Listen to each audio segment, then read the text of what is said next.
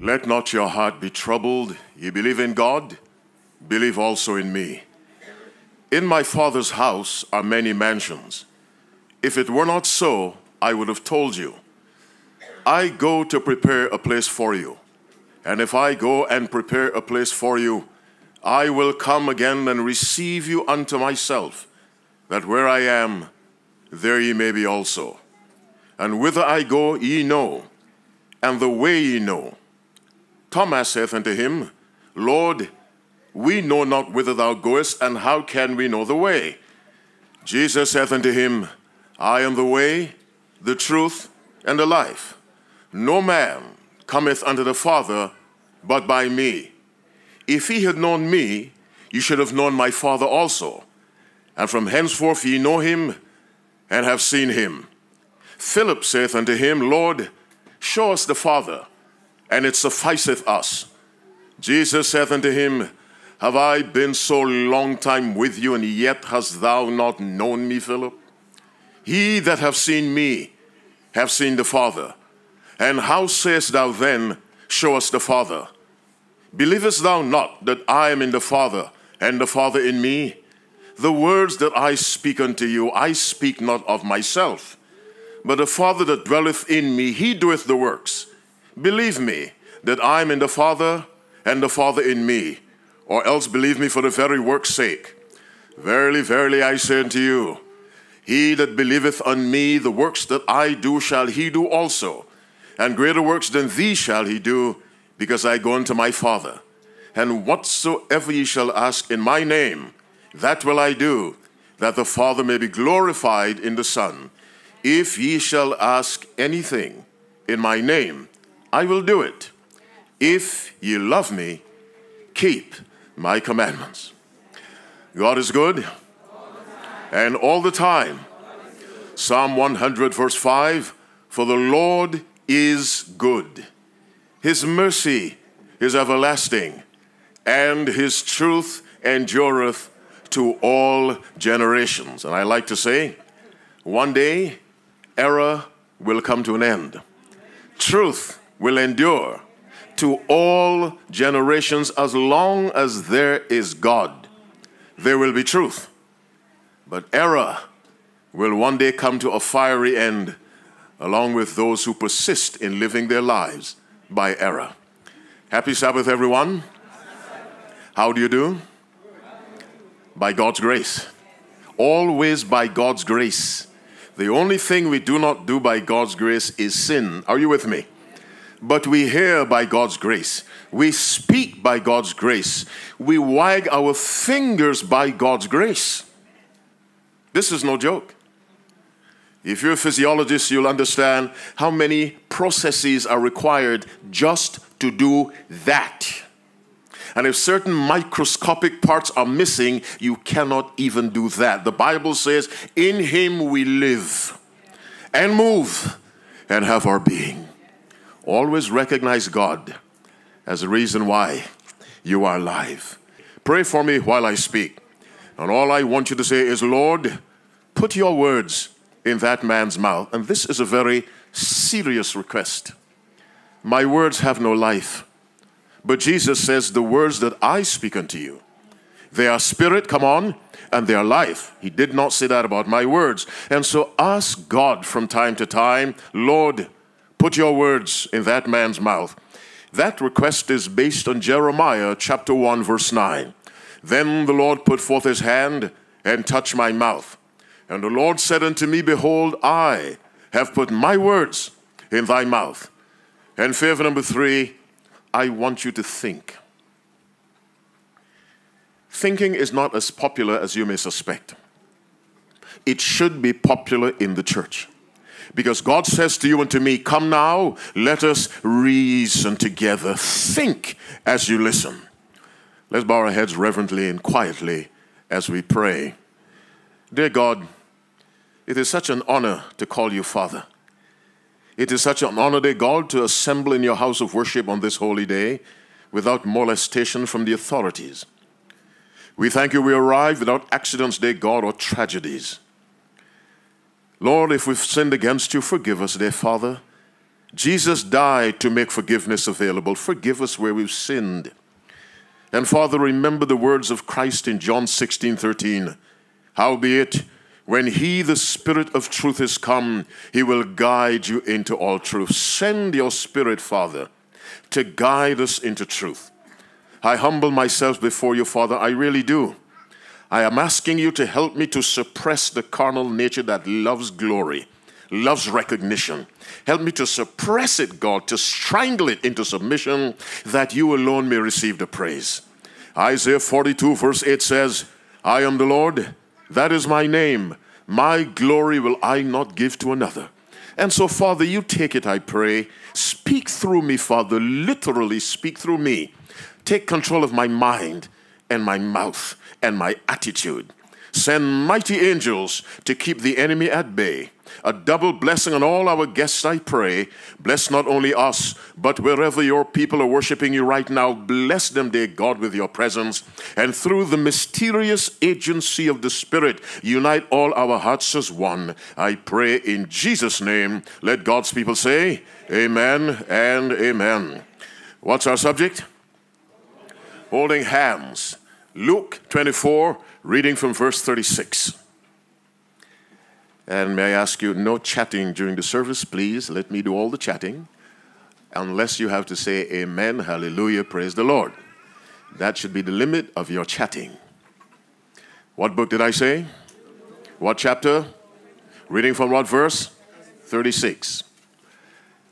When you found it, say amen. And I read from the King James Version of the Bible. And as they thus spake, Jesus himself stood in the midst of them and saith unto them, Peace be unto you. But they were terrified and affrighted, and supposed that they had seen a spirit. And he said unto them, Why are ye troubled? And why do thoughts arise in your hearts? Behold my hand and my feet, that it is I myself. Handle me and see, for a spirit hath not flesh and bones, as ye see me have. Now let's pause and go back to verse 36. I want you to observe something. It's a grammatical structure. And as they thus spake, Jesus himself, this is called in grammar the intensive. The verse could have said, Jesus stood in the midst of them.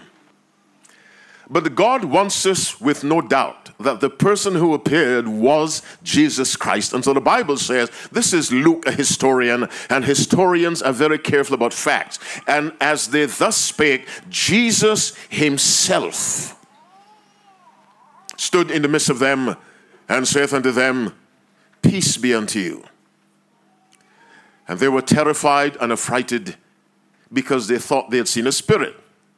And he said unto them, why are you troubled? By the way, if you're troubled, God is asking you that right now. Why are you troubled? And why do thoughts arise in your hearts? Listen to Christ now. Behold my hands and my feet. We come across another intensive that it is what? I myself. God wants you to have no doubt. It is He that is operating in your life. Too many believers have doubts as to whether Christ is with them or not. Handle me and see, says God or Christ. For a spirit hath not flesh and bones as ye see me have. The creator of heaven and earth, and that's Christ. He invited the disciples to handle me. And the Greek word means to verify by touch but it also means to verify by mental activity. You put two and two together and you come to the correct conclusion that this is four. Jesus says, Handle me. Take your hand, put it in mine, handle me. What's our subject? Holding hands. Who is this person inviting the disciples to handle me? Let's keep reading. And when he thus had spoken, he showed unto them his hands and his feet. And while they yet believed not for joy and wondered, he said unto them, Have ye here any meat? And they gave him a piece of a broiled fish and of a honeycomb. Verse 43 And he took it and did eat before them. What we learn about Christ from this, among many things, having showed them his hands and his feet. In other words, showing them the marks of the crucifixion. He is trying to prove he is real. Christ is not a theological argument. Jesus Christ is a person. Jesus Christ is a real three dimensional being. And so he says, Handle me. When they didn't believe, he said, Give me something to eat. Because a ghost does not eat, and a ghost does not have flesh and bones. God goes the extra mile to convince us that he is real. Can you say amen? You see, God tells us, Go the extra mile. But God Himself goes the extra mile. He requires of us what He does. And so, when touching His hands and His feet were not enough, they still doubted. He said, Give me something to eat. And the Bible says he took it and did eat before them. Before them does not mean before they themselves had a chance to eat, it meant right in their presence. Let's take a look at who it was who said, Handle me. Let's go to John 1. Our subject, holding hands. And this is the conclusion of a youth week. So while I'm talking to the youth, I'm talking to everyone. John chapter 1, we'll read from verse 1 our subject, holding hands. When you found it, say amen. All right, most of you didn't say amen. I assume you haven't found it. John 1, reading from verse 1. Let me pause and pray again.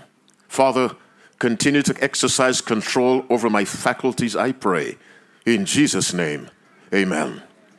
In the beginning was the Word, and the Word was with God, and the Word was God. Notice this the Word was God. Let's read that verse again microscopically.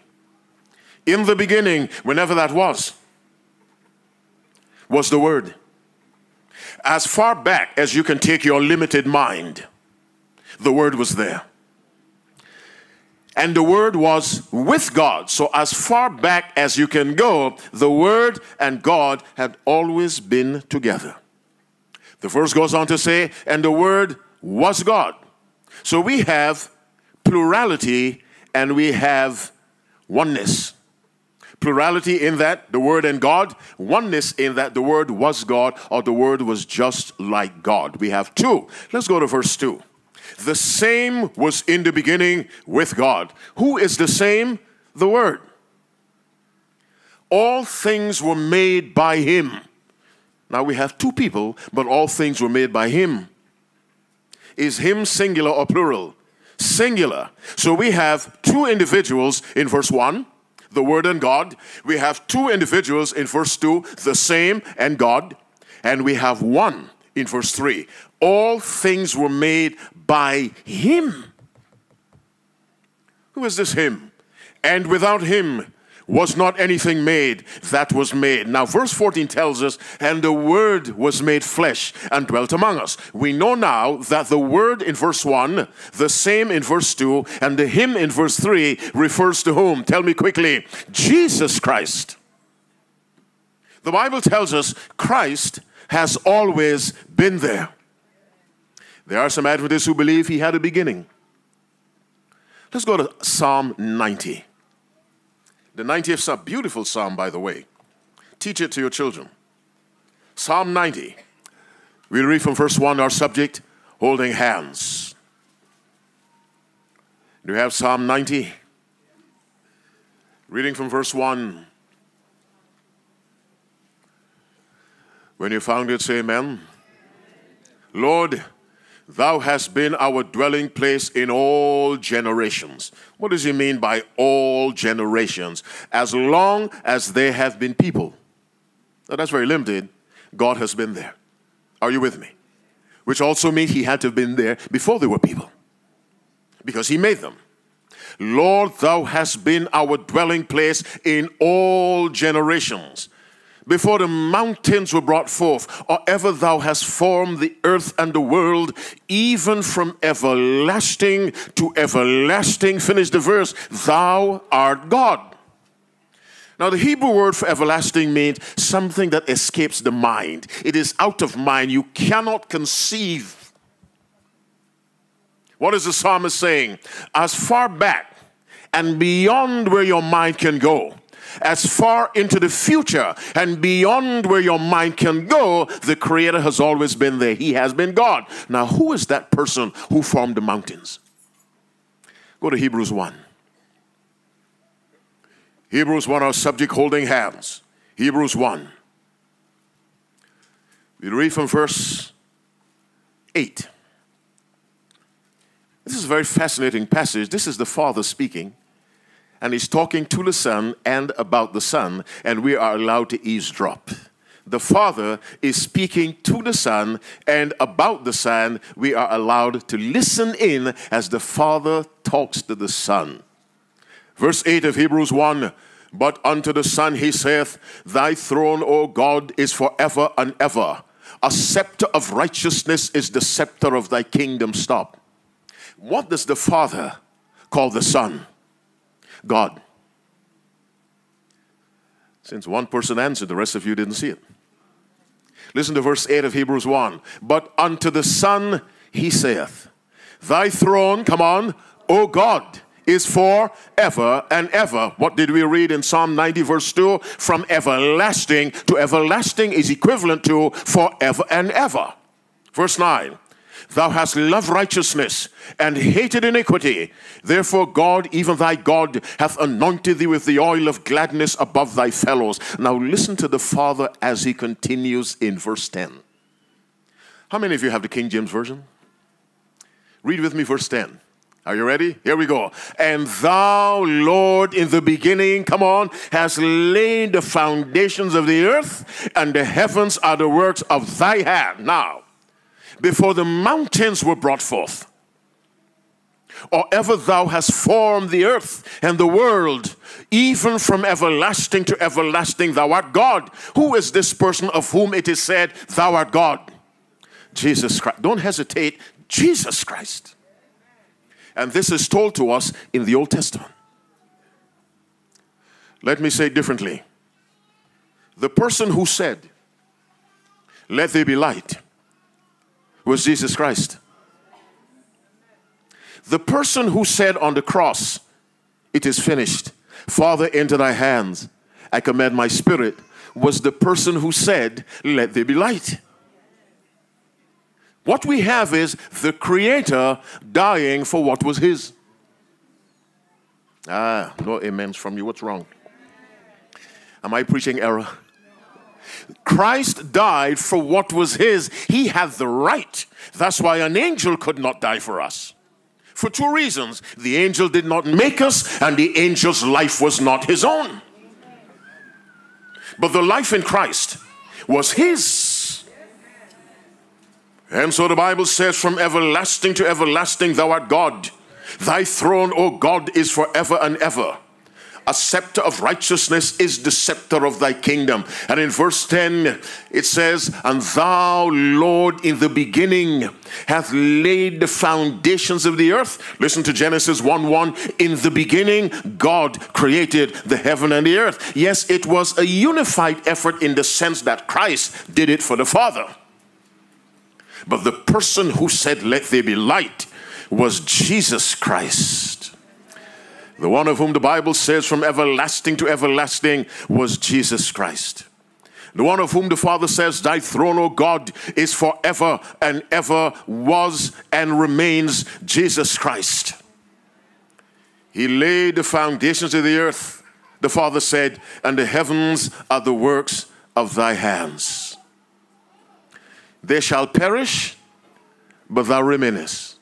And they all shall wax old as doth a garment, and as a vesture shalt thou fold them up. But thou art the same, and thy years shall not fail. Another support for the eternal nature of Christ. The heavens may pass, the earth may pass, but your years will never fail. Who was this person that said, Handle me? Jesus Christ. Tell me something else. The one who said, Let there be light. Let's go to First John chapter 1. Let's read from verse 1. Our subject, holding hands. First John chapter 1, reading from verse 1. Looks like 25 to 1. Do you have First John 1? Reading from verse 1. Let's pray again. Holy Father, continue to be with me, dear God. It doesn't take long for the carnal nature to raise its head. Push that head down, dear Father, and speak through me with no interference from my flesh. In Jesus' name I pray. Amen. That which was from the beginning. Notice the words very carefully. Now, this is the same person who wrote in the Gospel of John, chapter 1, verse 1 In the beginning was the Word, and the Word was with God, and the Word. This is the same person. Here's how he writes now that which was from the beginning, which we have heard, which we have seen with our eyes, which we have looked upon, and our hands have what? Handled. What did Jesus say? handle me. The apostle now is writing, I handle the God who has existed from all eternity. I handled him. I saw him. I contemplated him because we have two words in verse 1 that which was from the beginning, which we have heard. They heard God. Which we've seen with our eyes and we've looked upon. Now, they're two different things. To see with the eye is to look, to look upon is to contemplate. So you see me with your eyes, but you're also contemplating me and our hands have handle of the word of life. For the life was manifested, and we have seen it, and bear witness, and show unto you that eternal life which was with the Father and was manifested unto us. He calls him that eternal life. He calls him life. John says, that God who existed before anything else existed. I saw him. I held him. I heard him and I observed him. And of all the 12 disciples, I alone put my head on his chest at the Last Supper. I believe you're listening, you're nodding your heads. Do you understand what the Bible is teaching us?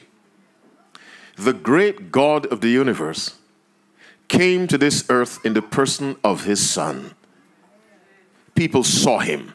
This is the God all heathen nations want to worship. Now they worship him through the sun, which is wrong. You see, the ultimate desire of the heart is to reach God.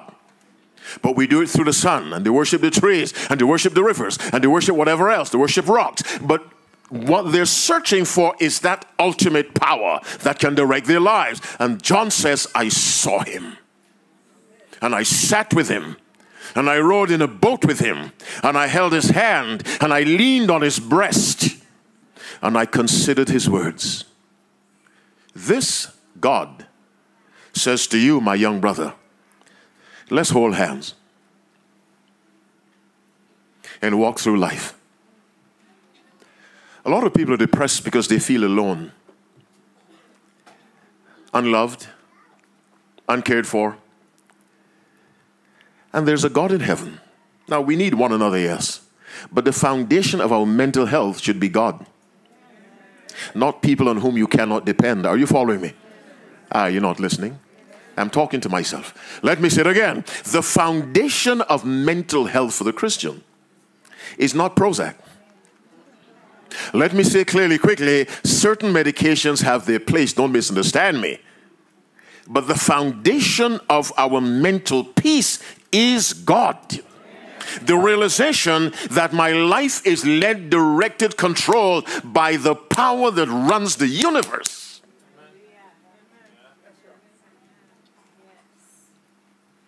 You need to understand. You know, the Bible says in Psalm 27, verse 10, just listen. When my mother and my father forsake me. Finish the verse. Then the Lord will take me up. Well, if mother and father can forsake you, friends will forsake you. Who does not forsake you? Tell me, God. The one who became like you, flesh and blood. Let's find out something else about this God. Go back to John 1. This God who made heaven and earth.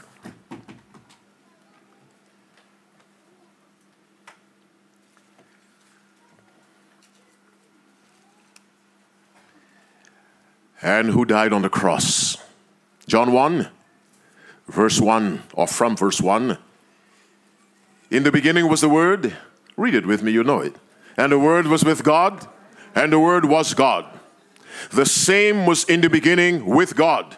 All things were made by him, and without him was not anything made that was made. Now, notice verse 4 carefully.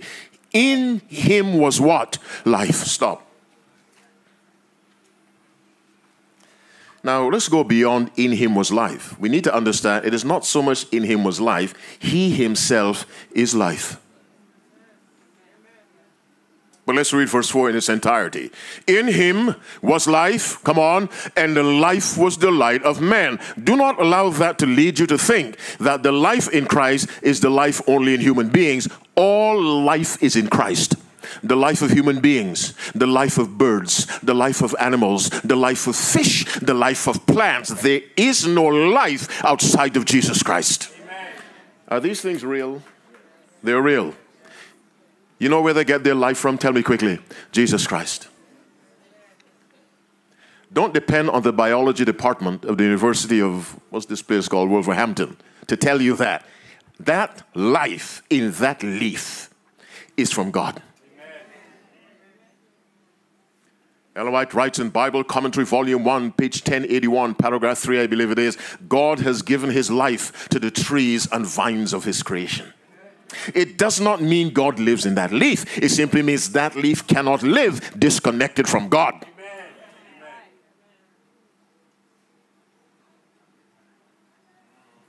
That bird flies because its life is preserved by God. And if we will live this way all day, we would be singing words of praise and thanks to God.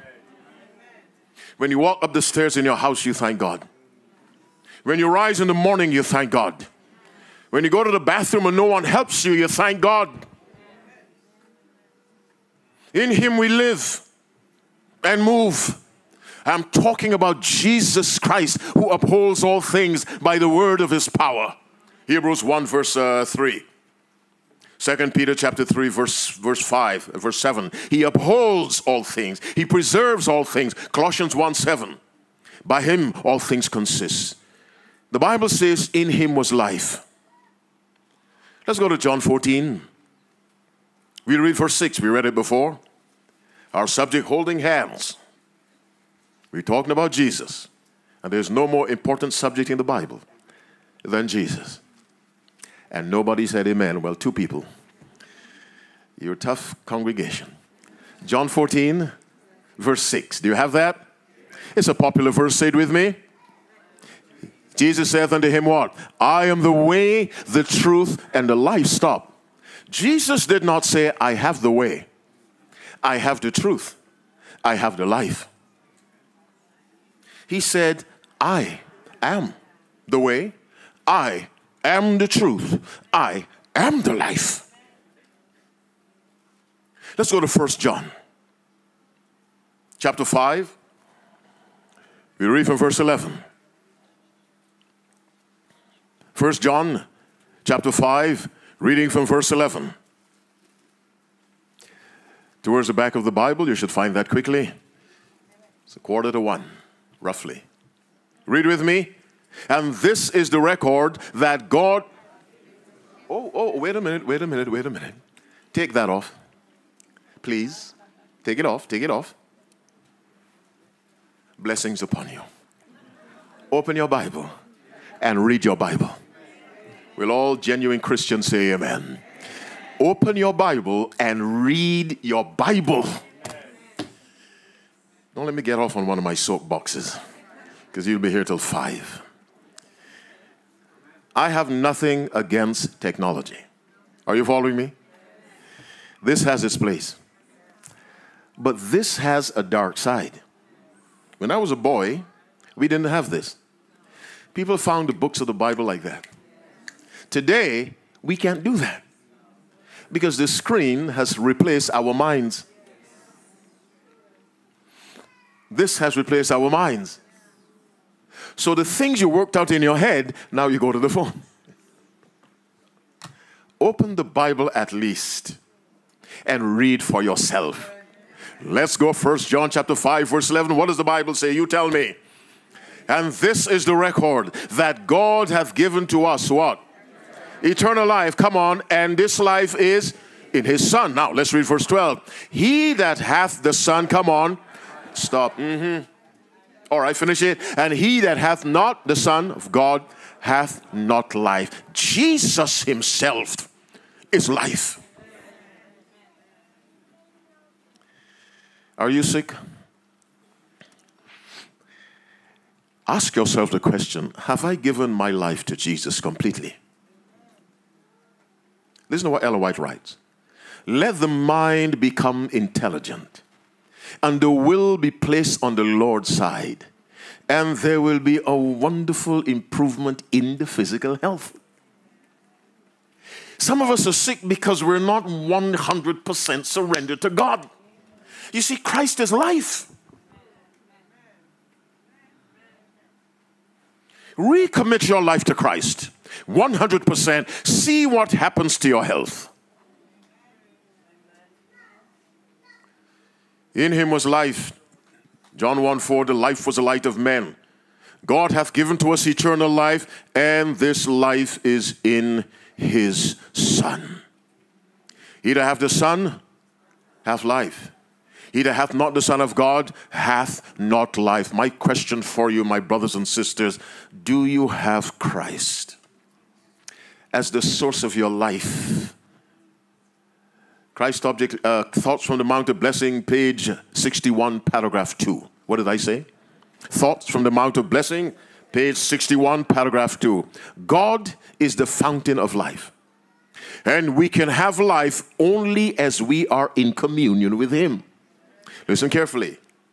Separated from God, existence may be ours for a little while, but we do not possess life. Someone disconnected from God is existing, not living. And so First Peter, First Timothy 5 6 says, She that liveth in pleasure is dead while she liveth. The life you and I need to survive this world and to qualify us for place in God's kingdom is only possible through a union with the life giver. That's Jesus Christ. Go with me to John 11. John 11. We're finding out that this person who said, Handle me, was the one who made heaven and earth. The one who said, Handle me, is the one who said, It is finished. The one who made heaven and earth. We're taking a look at him now. John 11, we read from verse 21. John is a beautiful gospel. Read it sometime. Beautiful gospel. Do you have John 11 from verse 21? Let me pray. Holy Father, as I continue to talk about your Son, continue to control my mind and my mouth through the agency of your Spirit.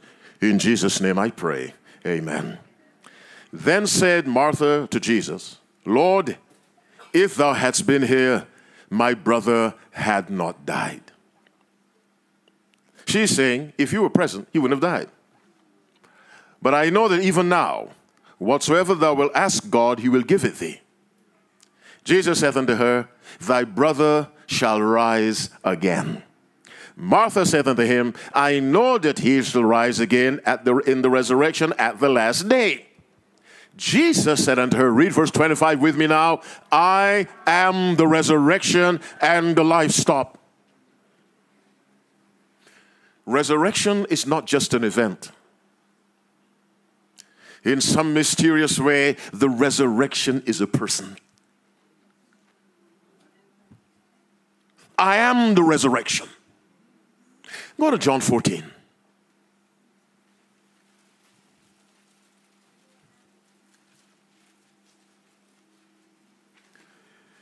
Let's read verse 18 and 19.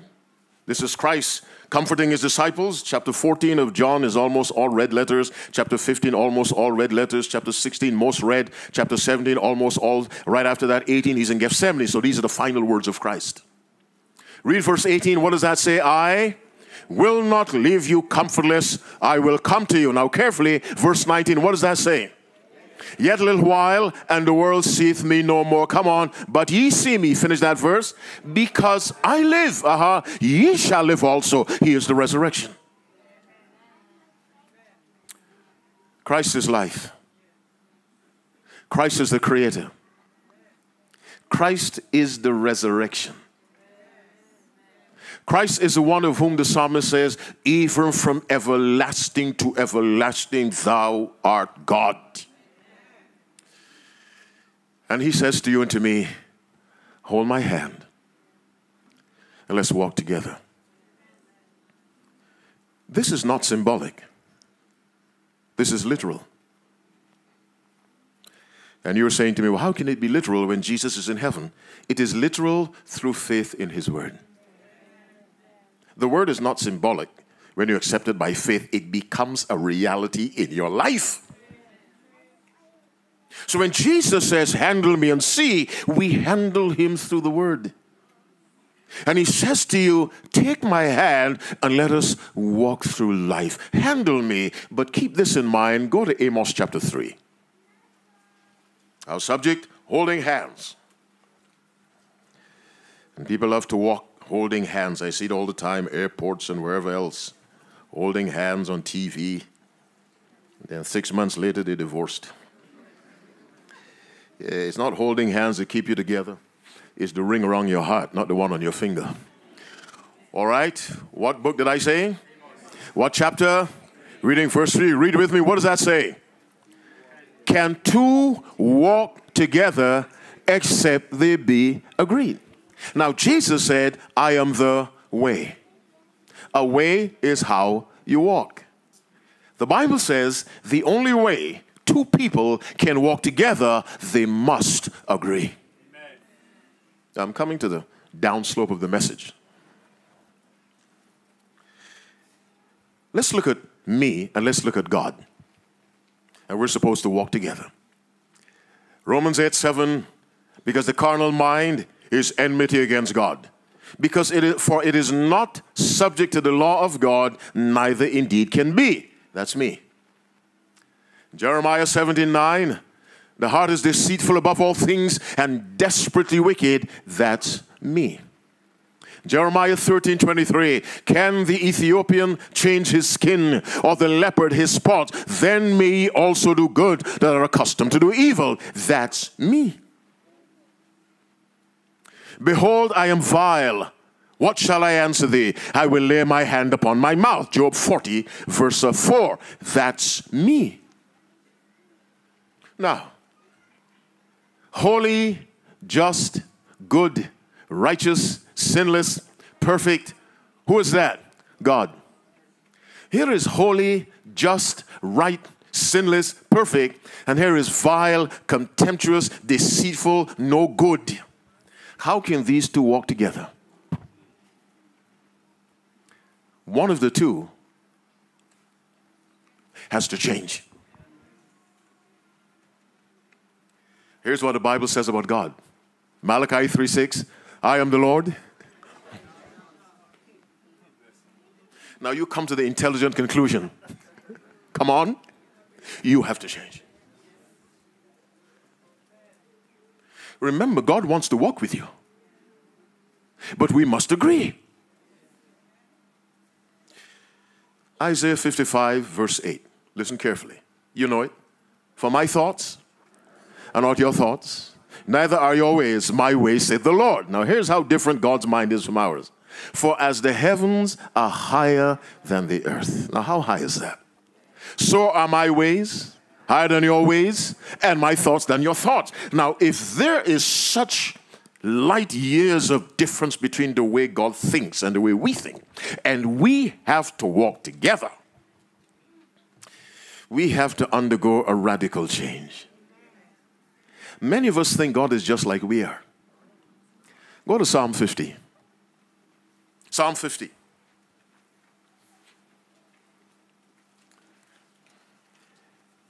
Psalm 50. In the new world, we'll have air conditioning.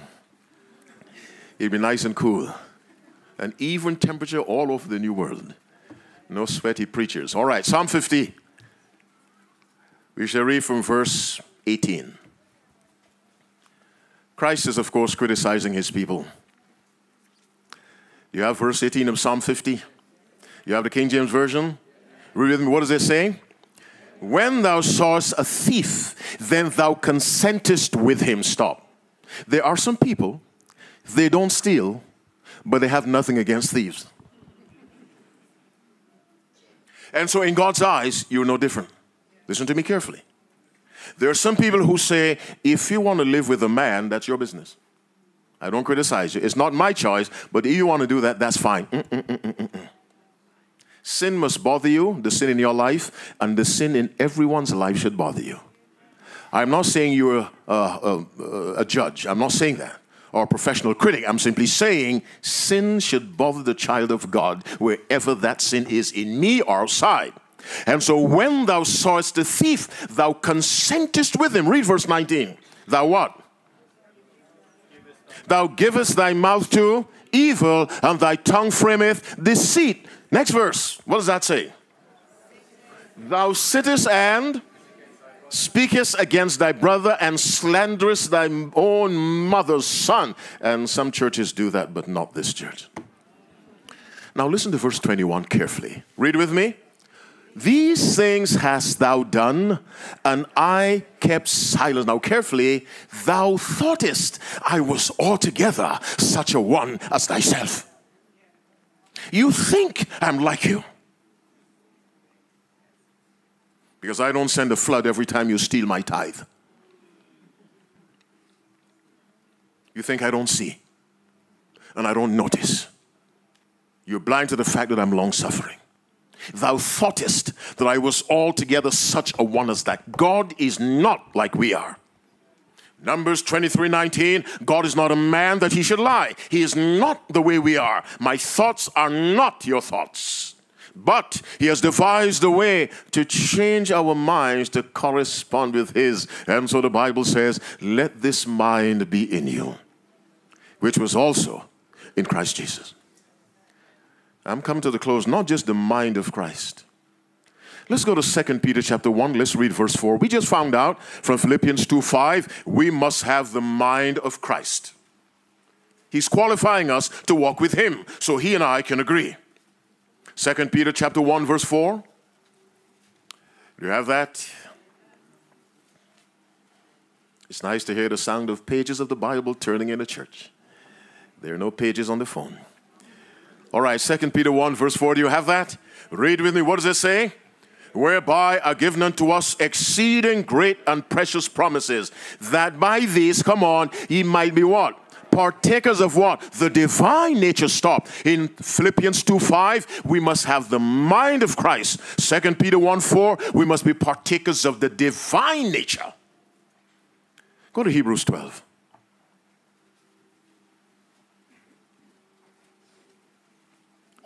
Verse 10.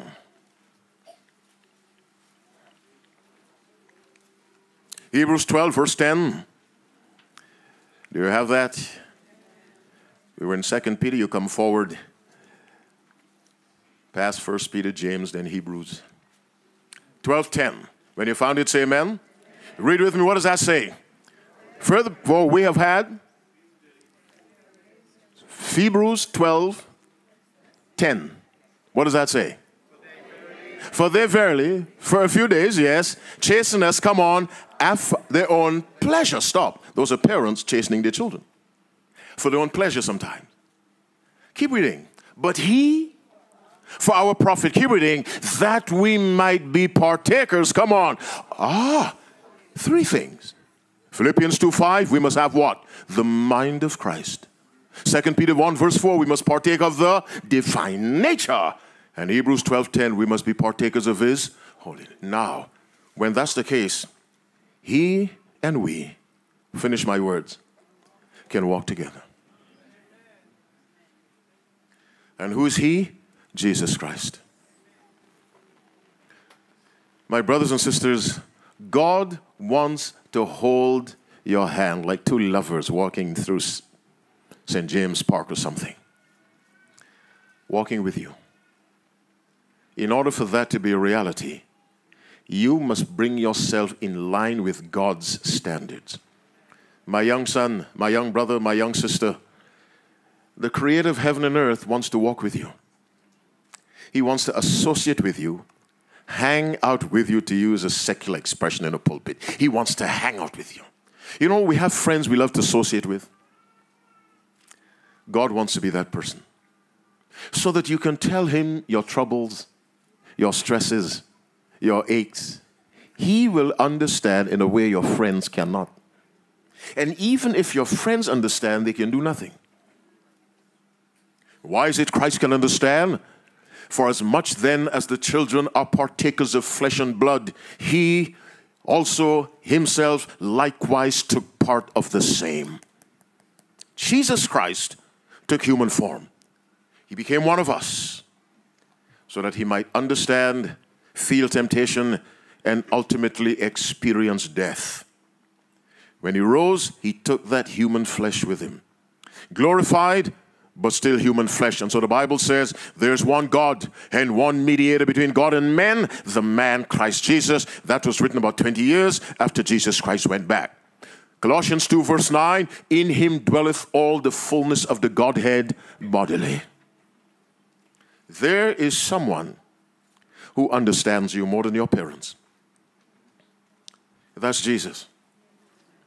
Because Christ has always been, because he is, and he always will be, he can cover all age groups. Are you 90? Jesus was 90. He's been from everlasting to everlasting. Are you 17? In his humanity, Christ was 17. Are you 21 considering establishing your home? Jesus Christ was 21. What am I saying? Jesus Christ was six months. Is there a baby around here? No. This lady who sang is carrying a lovely little burden, not burden, but a, a precious. Where is she? No, there was a lady who sang the special music. Where'd she go? No, no, no. The lady who sang the special music before I stood up. Don't confuse your members. But she's carrying a child. Christ was that. When that child is born, she'll breastfeed the child. Mary breastfed Jesus. You're not listening to me. Let me say different. Mary breastfed God.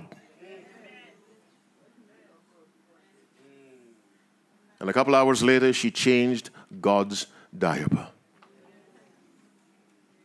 Now, did he become flesh? Yes. But listen to me. The one who said, Let there be light, is the one who nursed at the breast of Mary. How can you come any closer to humanity than to come through the womb? You know, Christ came to the earth in human form before he came in Bethlehem. In Genesis 18, he came to Abraham with two servants or two angels, but he came in human form, not in human nature. Are you with me? Because he was not born. Are you following me? No, you're not following me. When Christ came to Abraham in Genesis 18, he came in human form, not human nature.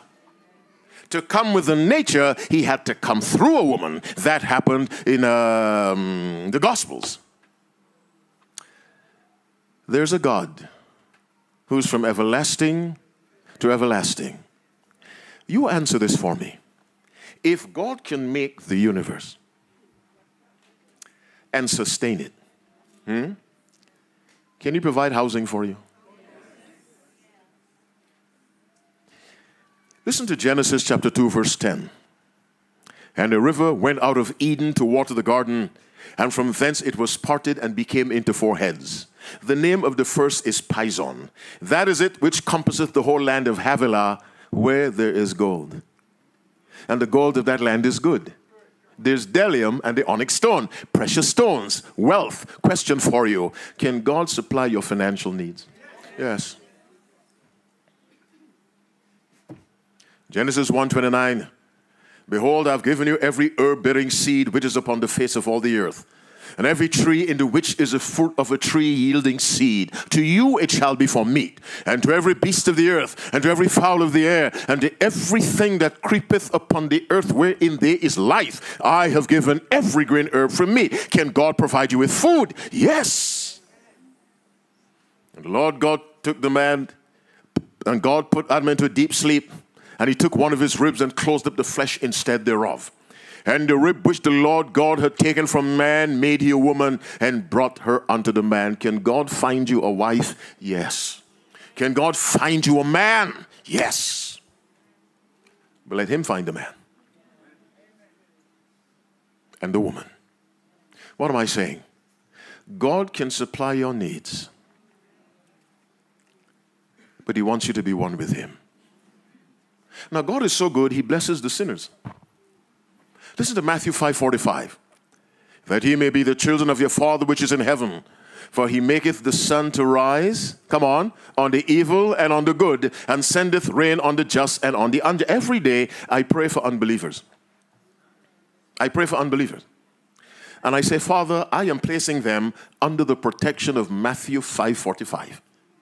He caused, he maketh the sun to rise on the evil and on the good. Father, there's a prostitute in London. Please remember Matthew 5:45 and spare her till she comes to know Jesus. There's a drunkard in a gutter somewhere, Father. Remember Matthew 5:45. Keep your hand over him until he has a chance to say yes to Jesus Christ. And so God blesses the unbeliever. If God can bless the unbeliever, ah, what will God do for you? This was the argument of Jesus. If God so clothed the grass of the field, which today is and tomorrow is cast into the oven, shall he not much more clothe you? Finish the verse. Oh, ye. Young man, you need tuition. Does Jesus know that? What do you call those machines where you punch a card and some money comes out? What do you call it? ATM, okay, that's what we call it across the, the ocean. God is not an ATM machine. When you have an occasional need, you conveniently stick a card in, get your money, and say bye, and you leave. No, God is not an ATM machine. God is the senior partner in the business of your life. And so today, I invite you to put your hand in the hand of Jesus accept his invitation. What did he say? Handle me. Put your hand in my hand and let's walk together in a state of agreement. He understands your problems, he understands your fears. He understands whatever troubles you, Jesus Christ understands. We have not an high priest which cannot be touched with the feelings of our infirmities, but was in all points tempted like as we are. The only difference was he never sinned. Bring your stresses to Christ, casting all your cares upon him. Why?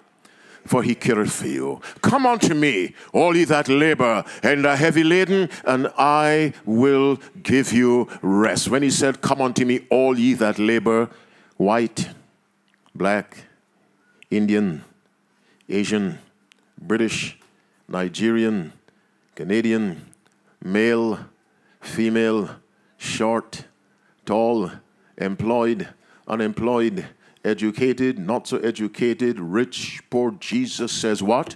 Come. Because all these people have the same problem. Three letters spell the word sin and they all need the same solution. Five letters spell the word Jesus. And so today, Jesus says, Come. You don't even have to move physically to come to Christ. Now, let me finish up quickly. You see, Revelation 3, verse 20 says, Behold, I stand where? At the door. Now, to stand at someone's door, where do you have to be? The only thing keeping you from inside is a thin piece of wood called the door. Christ has come this far in his humanity. He knocks. He does not send a text long distance message. He comes through the Spirit and he knocked. Behold, I stand at the door and knock. If any man hear my voice and open the door. The devil kicks it down, Christ waits for an invitation. My brother, my sister, if you hear that knocking on the door of your heart, open the door. Let Christ come in. Let him change the trajectory of your life. Let him bring hope into your soul. Let him put a brightness in your eyes as you look towards the future. Let Jesus be the hand that sustains you. And let this verse be the chorus in your heart every day Fear thou not, for I am with thee. Be not dismayed, for I am thy God. I will strengthen thee, yea, I will help thee, yea, I will uphold thee with the right hand. Now, the right hand is the hand of power. When the disciples fished and found nothing, Jesus said, Cast your nets on the right side of the boat. When the angel appeared to Zacharias, the father to be of John the Baptist, he was standing on the right side of the altar. When Jesus ascended, he sat down where? On the right hand of the Father. Jesus said, I will uphold you with what? The right hand of my righteousness.